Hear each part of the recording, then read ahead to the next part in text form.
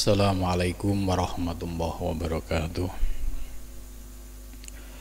Ila khadrati Nabi Mustafa Rasulullah sallallahu alaihi wasallam wa ila ikhwanihi minal anbiya wal mursalin wal awliya wa syuhada wa syalikin wal malaikatil muqarrabin. Khususun musanib handal kitab Syekhun al-Akbar Syekh Muhyiddin Ibn Arabi Hatoi wa khususan masyaihi masyaihi وخصوصا الشاذلي وخصوصا لوم الفاتحة. أعوذ بالله من الشيطان الرجيم. بسم الله الرحمن الرحيم. الحمد لله رب العالمين الرحمن الرحيم. مالك يوم الدين. إياك نعبد وإياك نستعين. اهدنا الصراط المستقيم. صراط الذين أنعمت عليهم غير المغضوب عليهم ولا الضالين. آمين. بسم الله الرحمن الرحيم. الحمد لله الذي علمني بعلوم العلماء الموحدين والمحققين وأرشدني إلى طريق المستقيم طريق الأنبياء والمرسلين. Wassalatu wassalamu ala sayyidil wujud wal arwah nabiyina Muhammadin sallallahu alaihi wasallam alladhi jaa bisyari'ah wa tariqah wal haqiqah wal ma'rifah wa ala alihi wa sahbihi ajma'in amma ba'du Subhanaka la ilma lana illa ma hakim La wa la quwwata illa billahil aliyyil azim Rabbis rohli sodri wa yashir li amri Wahlul uqdatam milisani yabkohu qawli. Amin ya rabbal alamin.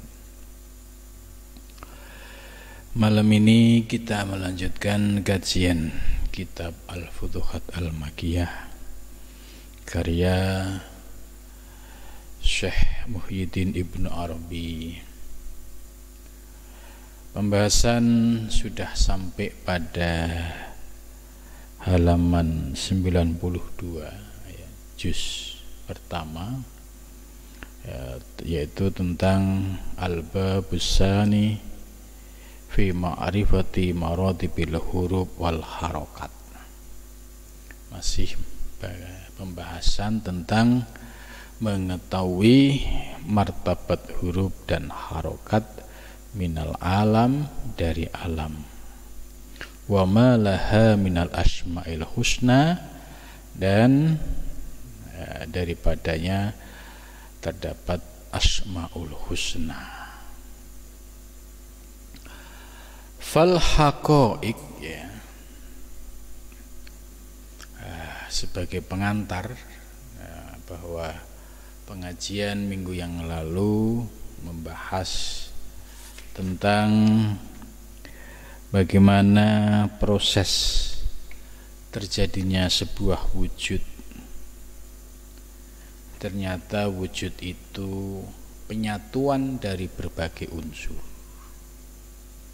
Ya, sebagaimana dijelaskan oleh Syekh Ibnu Arabi bahwa dari huruf-huruf hijaiyah terbagi menjadi empat. Dari empat pembagian ini ada yang memiliki martabat 7, 8, 9, 10 kemudian dari martabat ini membentuk unsur-unsur yang dikenal dengan unsur haroroh yaitu unsur panas ya busah yaitu kering, burudah dingin dan unsur uh, yaitu satunya lagi uh, ya pisah basah ya. Nah, setelah diurai secara lebih mendetil oleh Syekh Ibnu Arabi bahwa dari unsur-unsur empat tadi ya sehingga terbentuklah unsur yang ada di alam semesta yaitu yang dikenal dengan unsur api, air, angin, tanah. Ternyata pembentukan unsur air, api, angin, tanah ini sudah dijelaskan pada pengajian sebelumnya yaitu bentukan dari penyatuan unsur-unsur yang lain. Ya, saya ulang supaya kita ingat seperti unsur api ya. Itu campuran antara unsur haroroh dan yabusah. Haroroh itu unsur panas dan yabusah itu kering. Ya, unsur ini yang membentuk namanya anar api. Kemudian hawa, hawa itu udara. Ini unsurnya campuran dari haroroh dan rutubah yaitu panas dan basah. Jadi panas dan basah jadinya hawa panas dan kering jadinya api. Ini. Jadi kita mulai sedikit-sedikit ya eh, memahami ya campuran-campuran dari unsur air api angin tanah kemudian mak unsur ma air itu campuran dari burudah dan rutubah yaitu dingin dan basah ya. Dingin dan basah ini menjadi air. Ya dalam ilmu ya biologi ya air ini kan campuran dari hidrogen dan oksigen. Maka jadilah namanya air nah dalam ilmu eh, kitab ini Syekh Ibn Arabi menjelaskan bahwa alma air itu susunan dari campuran dari burudah dan yabusa uh, burudah dan rutubah ya. Dingin dan basah. Kemudian yang terakhir yaitu unsur turab unsur turab ini campuran antara unsur burudah yaitu dingin dan yabusah yabusah itu kering. Jadilah turob yaitu tanah ini. Nah dari penjelasan ini ya kita bisa uh, memahami lebih kepada uh, alam semesta disebut alam kabir makrokosmos ya. Itu unsur empat itu menjadi unsur dasar. Sehingga dari unsur-unsur inilah melahirkan campuran dari unsur-unsur inilah eh, terjadi pembentukan wujud-wujud baru. Nah, begitu juga diri kita sebagai mikrokosmos alam sogir alam kecil ternyata unsur zat kita fisik kita, jasmani kita, itu juga nggak lepas dari empat unsur tadi, yaitu air, api, angin, tanah.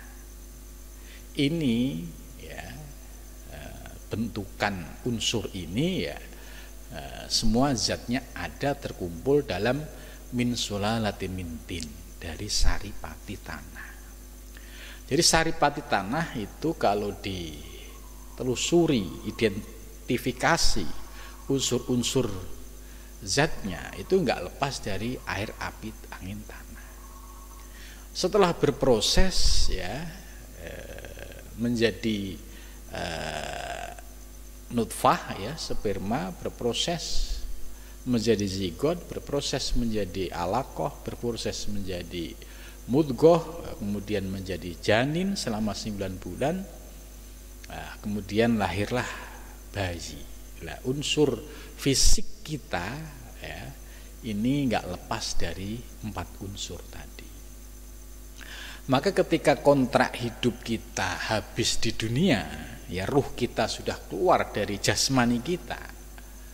Maka jasmani kita yang unsur dasarnya dari empat tadi, air, api, angin, tanah, dikembalikan kepada unsur eh, tanah, yaitu dengan cara dimakamkan, dikuburkan. ya, kembali ke tanah ini. Nah, yang melanjutkan kehidupan yang mana? Yaitu jasad yang barzahi yang metafisik. Ya mereka yang berhadapan mungkar nakir mereka yang merasakan apa nikmat kubur dan siksa kubur. Ya sedangkan yang jasmani fisik tadi unsur unsur api air angin tanah ya kembali ke asalnya yaitu tanah. Ya itu. Ah, dari penjelasan ini kita mulai memahami ya, ya luar biasa ya dalam penjelasan uh, Syekh Muhyiddin Ibnu Arabi ini mulai dari membahas tentang rahasia huruf hijaiyah sampai ya, ketemu unsur-unsur dasar kemudian sampai terbentuknya unsur air api angin tanah kemudian terbentuknya wujud alam semesta dan terbentuknya wujud diri kita.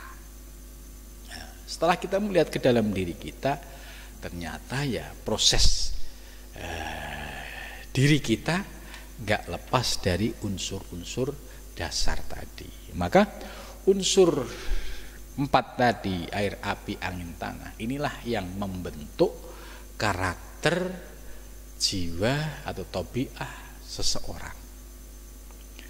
Kalau orang misalnya eh, dalam proses pembentukan itu lebih dominan unsur apinya maka karakter orangnya pasti pemarah egois itu tapi kalau unsur yang dominan itu unsur anginnya, ya itu pasti orangnya nggak nggak bisa diem, nggak bisa jenek bahasa Jawa. Nah, itu pasti pengennya ngalor ngidul ya seperti kayak karakter angin tadi, nggak tenang, ya pengennya uh, terus bergejolak gitu, muncul gejolak-gejolak yang ada di dalam dirinya. Nah, kemudian unsur api ini ya ini dalam teori ilmu tasawuf ya ini kan membentuk nafsu yang ada di dalam diri kita ya amarah lawamah sawiyah mutmainnah maka untuk menundukkan ya nafsu-nafsu yang dominan di dalam diri kita itu harus melalui proses yang namanya riadoh mujahadah.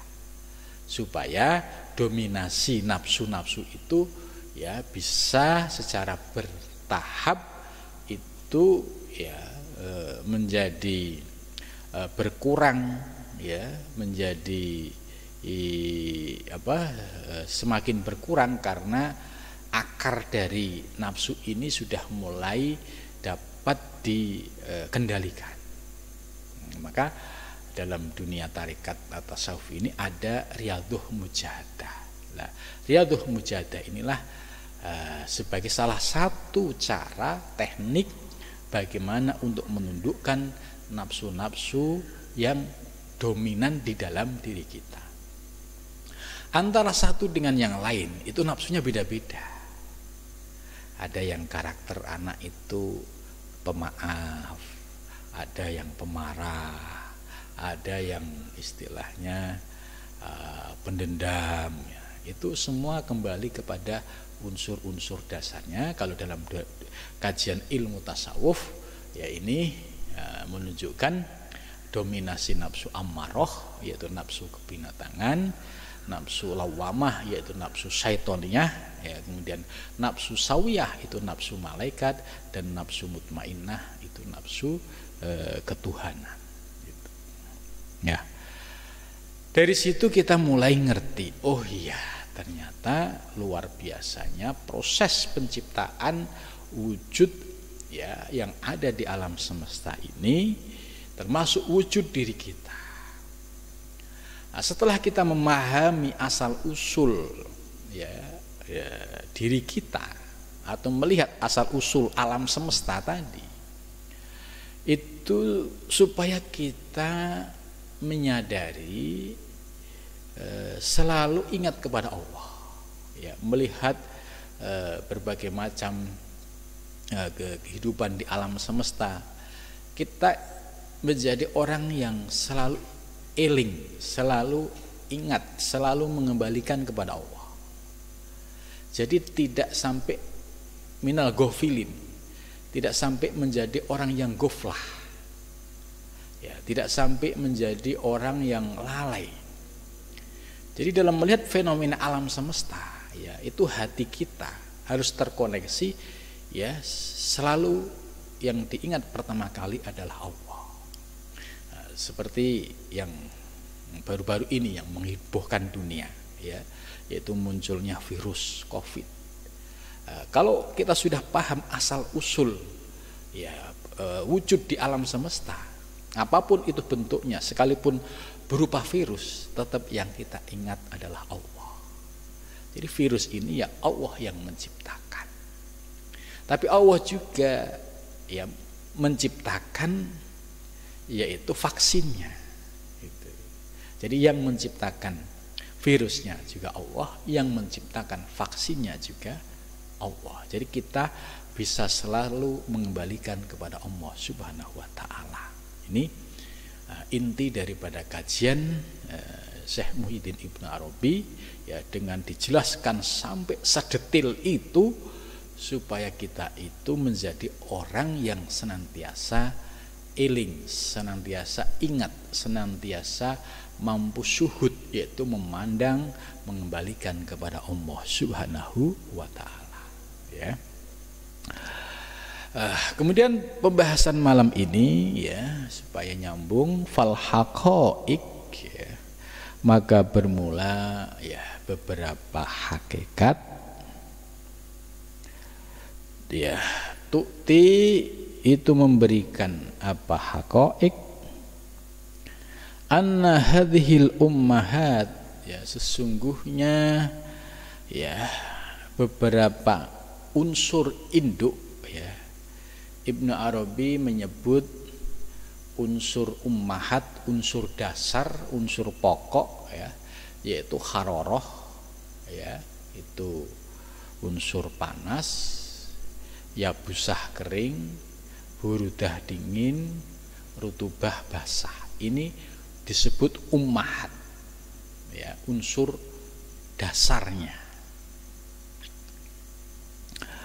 Lam yakun laha wujudun. Gitu.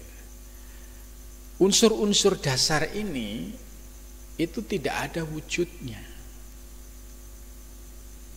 Ya. Fi ainiha pada ainnya keadaannya ya albatata sama sekali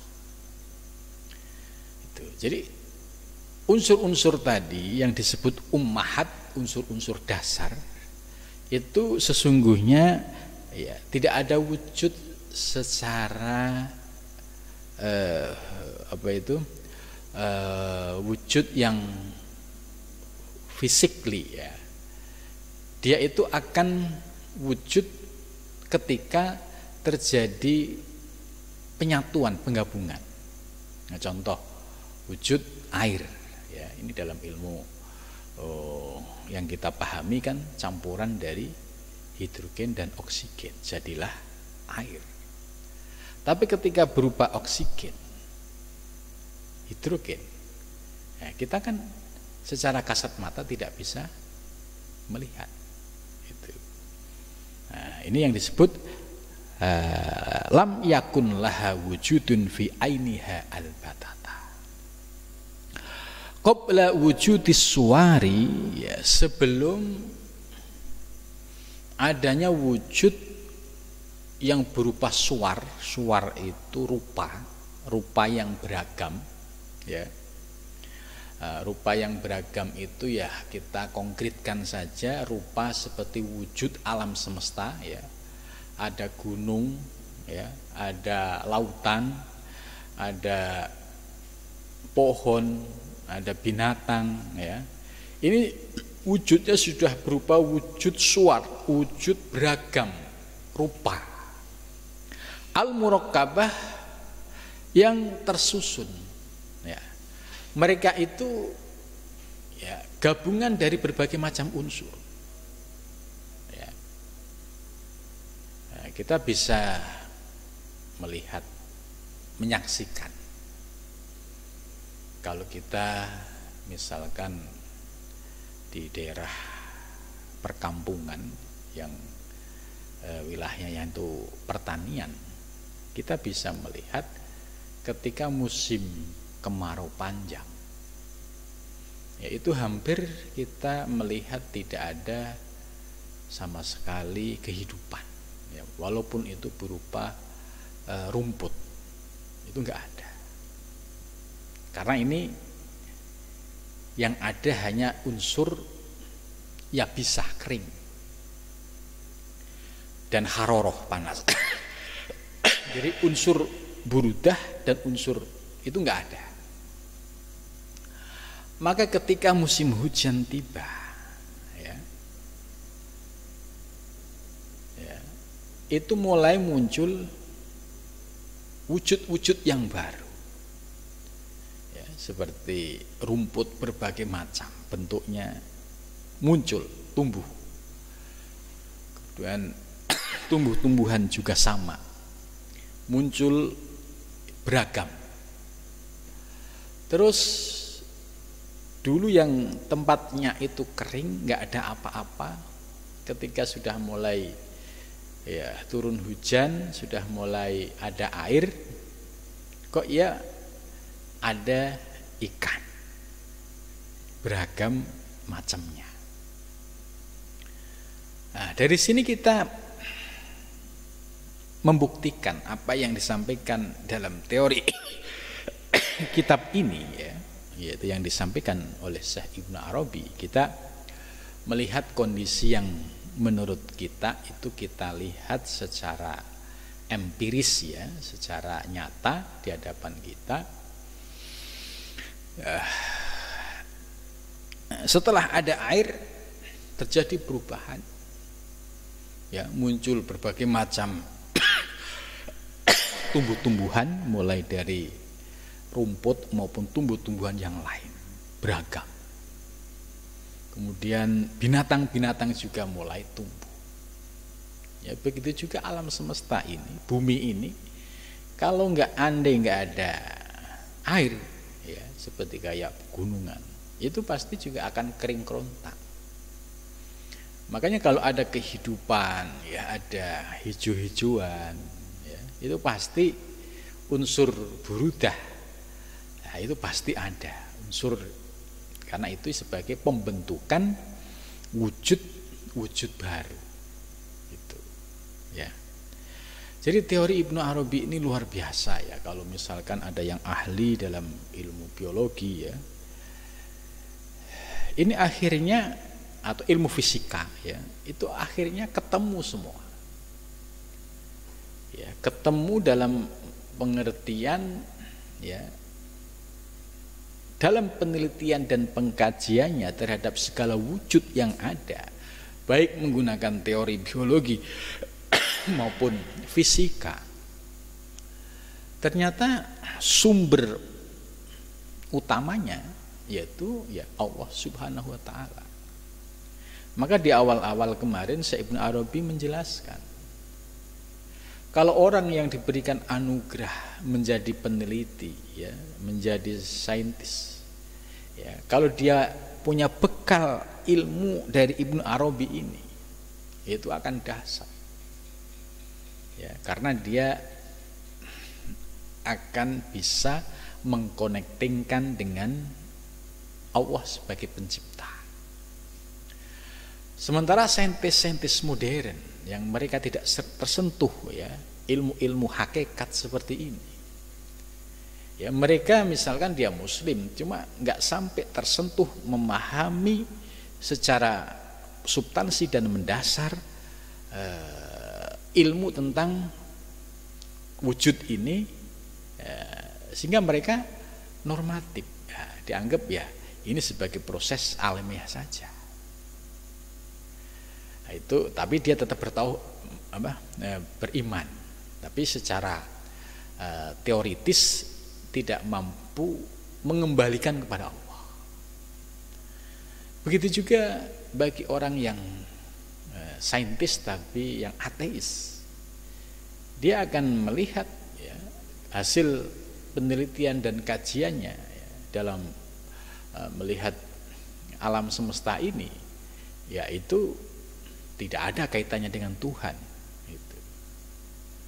Nah, di sinilah pentingnya ya umat Islam ya harus uh, bisa melahirkan generasi-generasi saintis ahli dalam ilmu pengetahuan tapi memiliki basic dasar teori-teori yang disampaikan oleh Syekh Muhyiddin Ibnu Arabi. Maka ketika dia belajar soal virus, soal vaksin ya, itu pasti ada pencerahan-pencerahan ilahiyah. Itu. Ya, tapi sayang sekali ya eh, kita ini ya masih belum ya bangkit dalam hal uh, penguasaan ilmu pengetahuan ini. Padahal teori dasarnya ini sudah disampaikan oleh Syekh Ibn Arabi ya pada abad 13 yang lalu. 13 abad ke-13 ya, artinya sekitar 1200-an ya. Ini kitab ini ditulis gitu. Jadi teori-teori ini sesungguhnya bisa melahirkan teori-teori baru dalam perkembangan ya, dunia saintis. Itu. itu jadi jelas wujud surah al murakabah wujudnya rupa-rupa yang yang tersusun gitu ya yang ada di alam semesta ini gitu. Ya.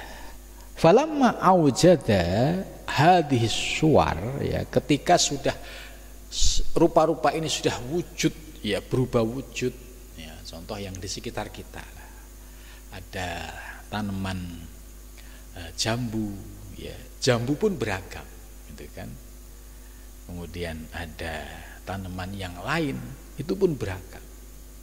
Ini saja kalau dikembangkan ya itu menjadi uh, menghasilkan uh, apa Eh, penemuan-penemuan yang baru ya dalam uh, pengembangan soal budidaya ya tumbuh-tumbuhan ini. Ini kalau bisa memahami teori-teori dasar ini gitu. Falam aujada suar allati ma itu. Falama aujada hadis suar ya ini ketika sudah sudah ketika rupa-rupa rupa itu beragam uh, wujud ya beragam uh, istilahnya uh, makhluk ya. Seperti ada manusia ada binatang ada tumbuhan. Ini kan rupanya sudah beragam ya. Allatihya alma wan nar wal hawa wal ar ya. Semuanya nggak bisa lepas dari unsur mak air ya. Nar api hawa udara arti tanah. Itu. Jadi wujud yang ada di alam semesta yang kita saksikan ya. Manusia sendiri juga ya nggak lepas dari unsur empat tadi. Begitu juga ya binatang tumbuh-tumbuhan ya dan wujud-wujud makhluk yang lain. Itu wa ja'alaha subhanahu.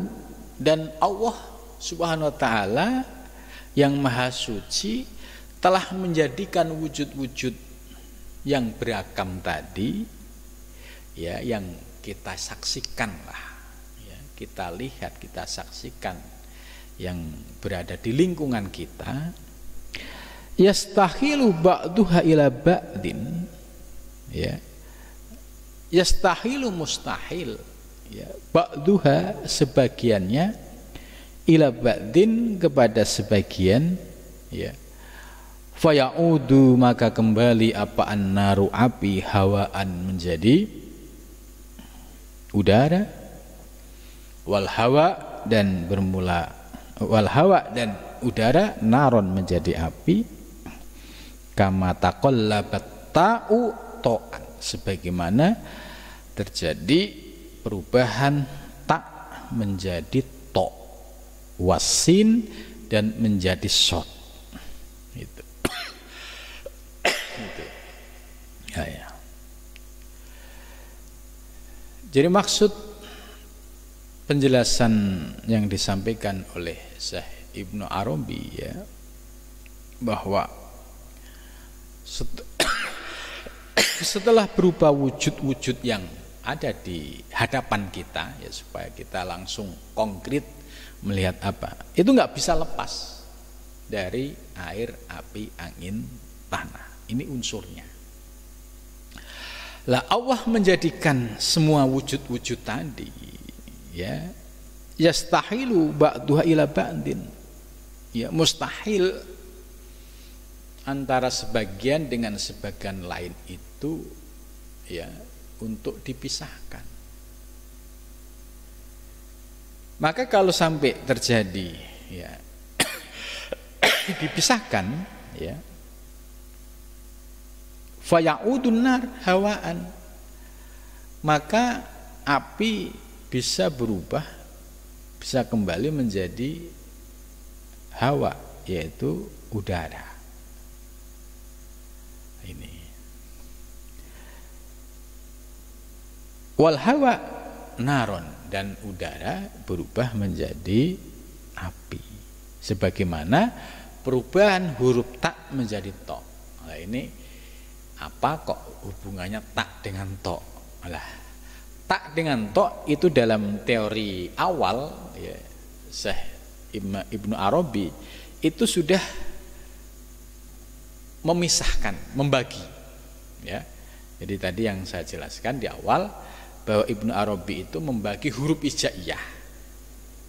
Ya, yang 28 itu menjadi empat bagian.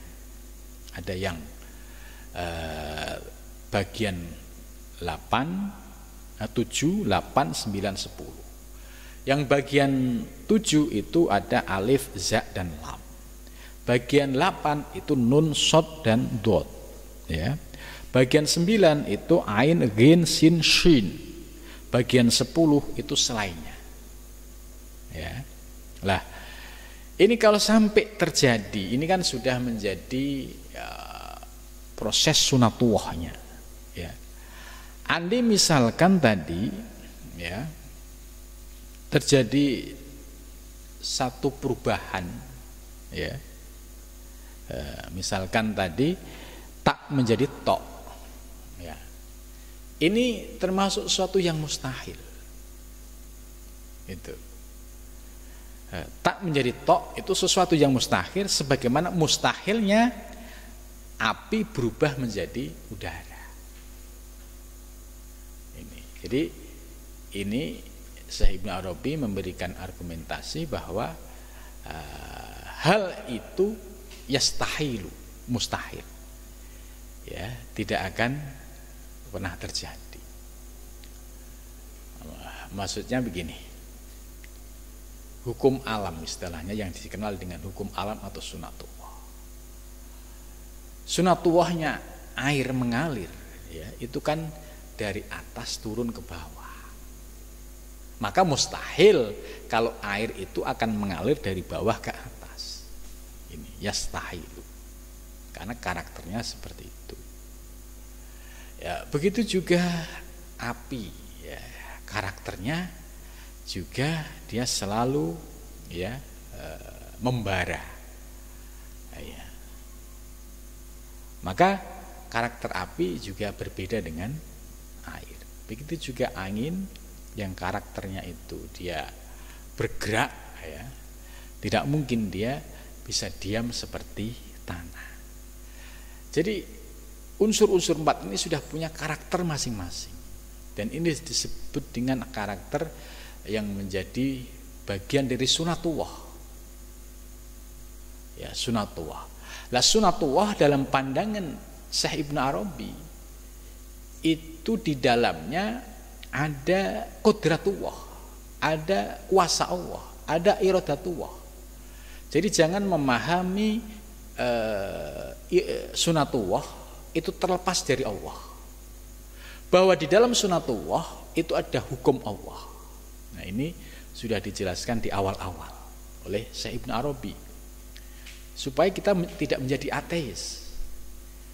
Kalau orang melepaskan sunatullah ini dari Allah, ya ini akan menjadi ateis. Contoh, misalkan eh, orang-orang yang ateis, dia melihat wujud alam semesta, ini ya proses alam. Gitu. Mereka menganggap nggak ada e, keterkaitan dengan Tuhan, karena dia ya tertutup hatinya, tidak memahami yang hakikatnya. Ya, begitu juga dia melihat proses kelahiran manusia. Ini dianggap ya proses yang alamiah, natural. Ya, tidak ada keterkaitan dengan Tuhan. Nah, inilah bedanya kalau orang yang hanya mengandalkan akal tapi tidak didasari dengan ilmu tauhid, akhirnya tidak bisa mengenal Allah. Akhirnya dia menjadi love lah, ya bahkan menjadi orang yang tidak yakin dengan Allah. Itu. Uh, jadi kama takto itu maksudnya tadi. Jadi nggak mungkin uh, karakter air ya, itu mengalir dari tempat rendah ke ke tinggi.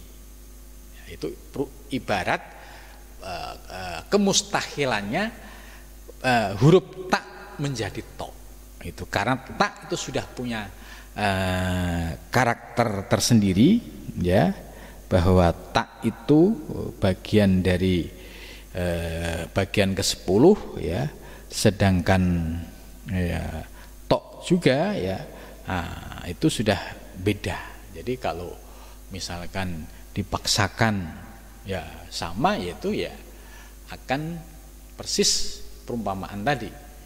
Eh, karakter empat unsur tadi sudah punya eh, karakter yang berbeda-beda. Itu yang sering disebut hukum alam.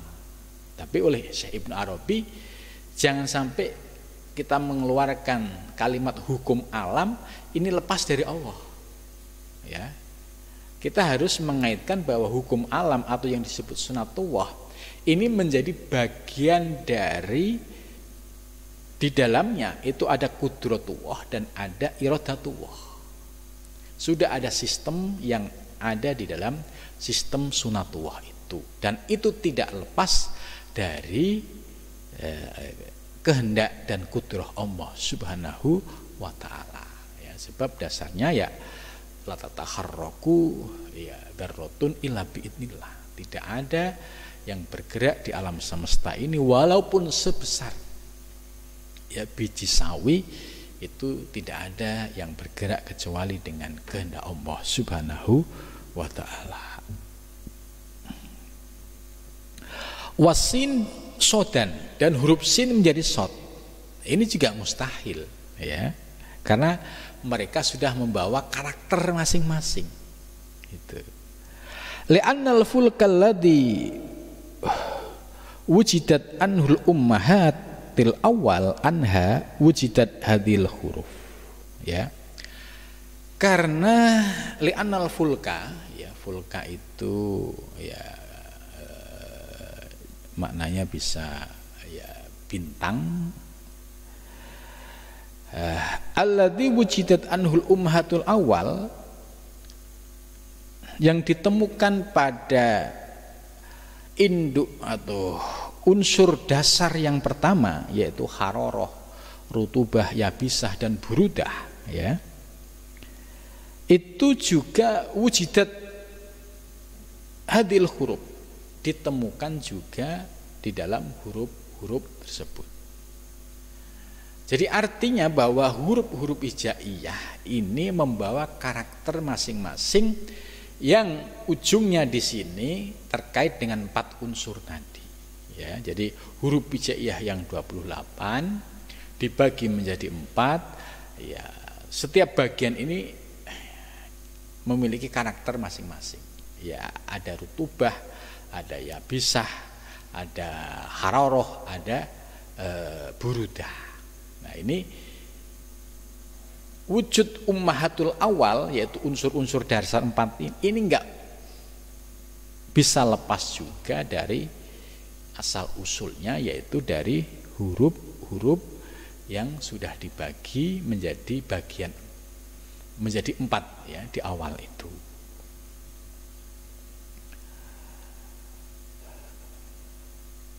Fal fulkul ladzi wujida anhal ardu anhul ardu wajada anhu harfus sa wa ada rasul jim wa nisfu ta'rikihi lam wa rasul kha wa sulusu al ha wa dal al yabisah wa nun wal mim. Ya. Uh, seperti wal fulku uh, fal fulku alladhi wujida anhul ardu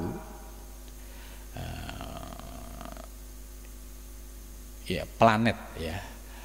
Fal fulku jadi al fulku bukan bintang ya. Artinya planet. Planet yang ditemukan yaitu ya, sebagaimana bumi ya eh, wujida anhu hurufutsa wata maka di situ ditemukan eh, yaitu uns, huruf sa dan ta. Kata ar ini artinya bukan bumi tapi eh, terkait dengan unsur dasar yaitu tanah. Jadi maksudnya eh, atau fal fulkul ladzi wujida anhul ardu ya wujida anhu harfu ta wa ta. Jadi planet yang ditemukan ya eh, di dalamnya itu ada ardu bumi atau tanah. Nah, maka ditemukan di dalamnya yaitu huruf ta dan sa dan ta. Wama ada dan selainnya dari eh, jim dan separuhnya dari lam dan eh, roksul kho yaitu pimpinan kepalanya kho wasulusul ha wadal al yabisah wan nun wal mim. Kemudian yang berikutnya wal fulkul ladzi wujida anhul ma sedangkan ya planet yang di dalamnya terdapat air ya, maka ditemukan huruf shin ghin to ha dod ya, dan ba binuktoh al wahidah Eh, kemudian uh, fa kemudian kof nah, itu. Ini pada uh, planet yang ditemukan alma air kemudian wal fulkul ladzi wujida anhul hawa sedangkan planet yang ditemukan ya di dalamnya itu ada hawa hawa itu air uh, hawa itu udara. Wujida anhu torful hak al akhir yaitu ditemukan pinggiran hak yang akhir alladhi yakitu dairataha wa rasal fa wa ta'rifil kha alahu min isfid dairah wa nisbi dairidha al mu'jamah al a'la qaimatun wa harfidal wal ain wa za wa wal waw. Wal fulkul ladhi wujida anhunar ya sedangkan planet yang ditemukan darinya itu ada api wujida anhu harful hamzah maka ditemukan di dalamnya itu hamzah kaf ba sin ro ya kemudian jim ya ya. Terus kof gitu. kemudian wa an hakikatil alif saudarat hadil huruf kulliha dari pembagian huruf-huruf tadi yang sudah dikapling ya kepada planet eh, mulai dari eh, bumi ya eh, air kemudian eh, bumi, eh, pertama bumi kemudian air terus udara eh, air api angin tanah air yang pertama tadi planet bumi, kemudian yang kedua bumi itu tanah, kemudian air, kemudian hawa, ya, kemudian art ya bumi sama uh, itu semuanya terkait dengan huruf-huruf hijaiyah. Ya, saya ulang lagi dari penjelasan yang terakhir tadi Eh, planet yang di dalamnya itu ada tanah atau bumi ya itu hurufnya sa ta jim lam ho ya, dan lain sebagainya kemudian yang planet yang air itu hurufnya shin gin to ha dot ba ya. kemudian planet yang ada udaranya yaitu ha yang akhir kemudian fa kemudian ho ya.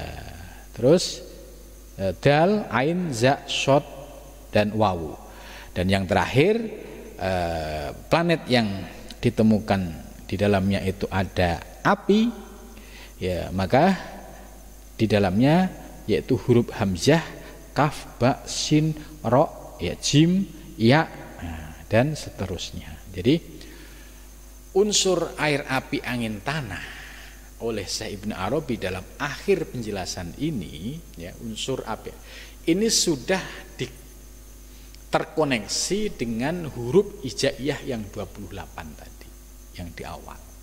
Tadi sudah dijelaskan ya mulai dari uh, tanah kemudian air kemudian udara terakhir adalah api. Ini sudah punya kapling masing-masing terkait dengan huruf hijaiyah tapi ada satu huruf ini yang istimewa. Wa an hakikotil alif dan dari hakikat alif Saudarat hadil huruf kulluha huruf-huruf ini telah muncul nampak semuanya. Wahwa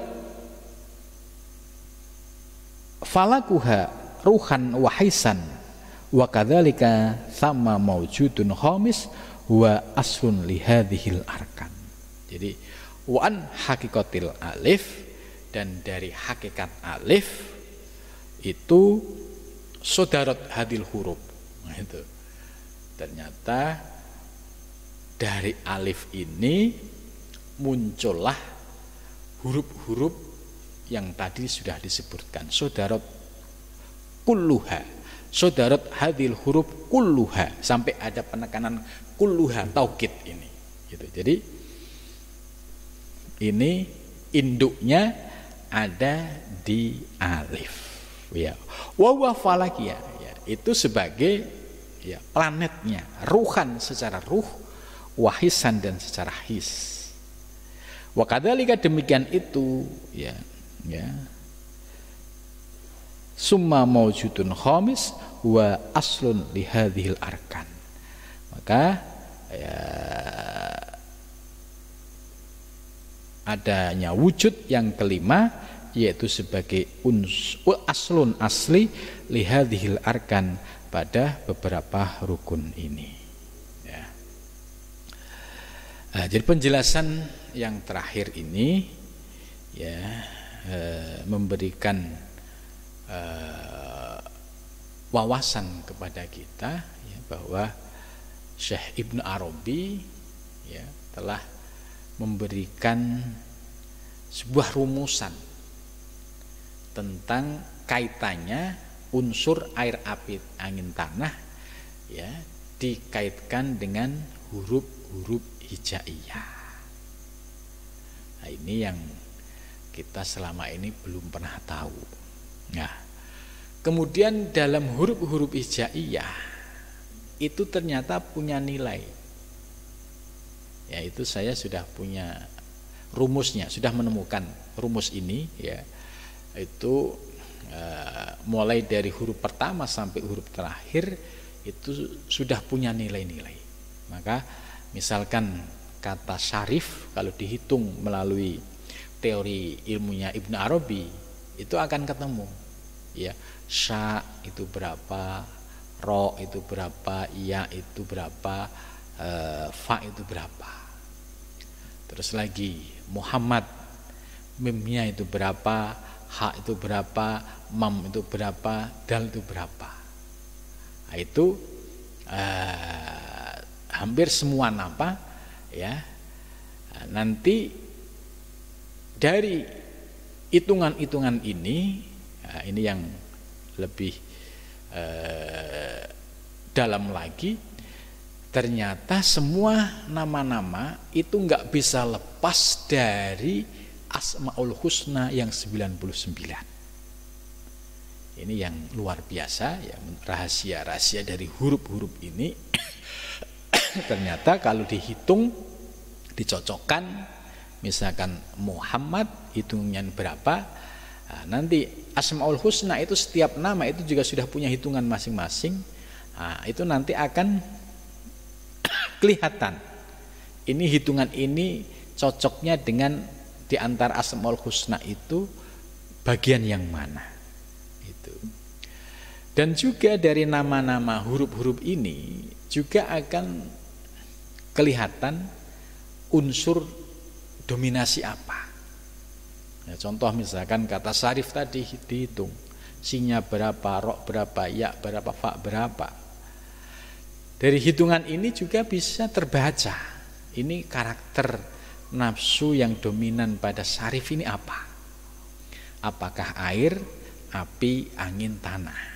atau dalam bahasa tasawuf apakah yang dominan itu amaroh atau lawamah atau safiyah atau mutmainnah. Jadi luar biasa ya apa yang disampaikan oleh Syekh Ibnu Arabi ini yang membongkar rahasia-rahasia huruf ya terkait dengan unsur air, api, angin dan tanah. Mudah-mudahan ya kita diberikan paham ilmu ini ini sudah anugerah yang luar biasa. Ya, nanti kita mulai akan praktekkan teori-teori hitungan ini ya supaya kita mulai semakin tambah yakin. Oh, apa yang ditulis dalam kitab ini dengan teori-teori yang dirumuskan oleh Syekh Ibn Arabi itu bisa dipraktekkan ya dengan hitungan-hitungan yang sangat matematik. Jadi setiap nama itu sudah punya karakter masing-masing. Maka dari sinilah kita paham eh, ketika ada ayat yang berbunyi ya wa allamal adamal asma kullaha ya ketika Allah memberikan asma nama-nama kullaha semuanya. Ini artinya bahwa nama di alam semesta ini ya tidak lepas dari nama-nama yang diberikan oleh Allah Subhanahu wa taala. Nah, mudah-mudahan pengajian malam ini membawa manfaat dan mudah-mudahan kita bisa istiqomah. Wawul mufiq Assalamualaikum warahmatullahi wabarakatuh.